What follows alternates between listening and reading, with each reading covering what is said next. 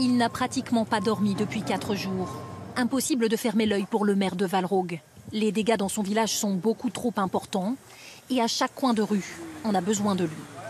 La poutre sur le pilier, là, il s'est décollé de 5 cm, je vous laisse regarder.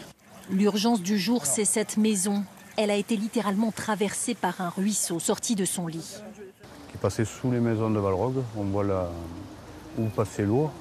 Et actuellement, elle est déviée et elle rentre dans les maisons.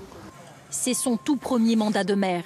Jamais cet éleveur de chèvres de 41 ans n'aurait imaginé devoir affronter un tel chaos. Non, on n'est jamais préparé à ça. C'est venu tellement vite, euh, une, une vague de, de 5,50 m hein, qui est arrivée dans le Clarou, donc euh, non, on ne peut pas être préparé à ces événements. Pour l'appuyer, il peut compter sur le renfort de 80 militaires venus prêter main forte. Une aide précieuse, vu l'ampleur des dégâts. Ça fait du bien d'avoir les bras et de se sentir. On a été isolés pendant un jour et demi. Et actuellement, on a quand même les secours, euh, l'armée et tout. Donc, oui, ça, ça soulage, ça soulage pas, mais ça, ça fait du bien. Quoi. Le chantier est colossal. Pour nettoyer le plus gros des gravats, le maire peut aussi compter sur le soutien d'une centaine de bénévoles venus des villages voisins.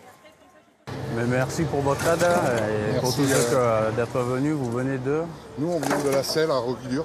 D'accord. Voilà, on est la communauté de la Selle.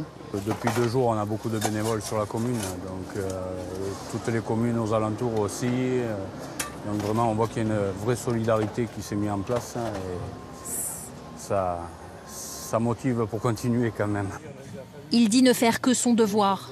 Pour cet administré qu'il a secouru, il a fait bien plus que son travail de maire. Il tombait encore des cordes, tête nue sur son tracteur. Il nous sortait les voitures qui étaient contre ma fenêtre et qui me faisaient prendre l'eau de toute la rue. À la fatigue du maire de Valrogue s'ajoute l'inquiétude. Son ami, un agent municipal du village, est toujours porté disparu ce midi.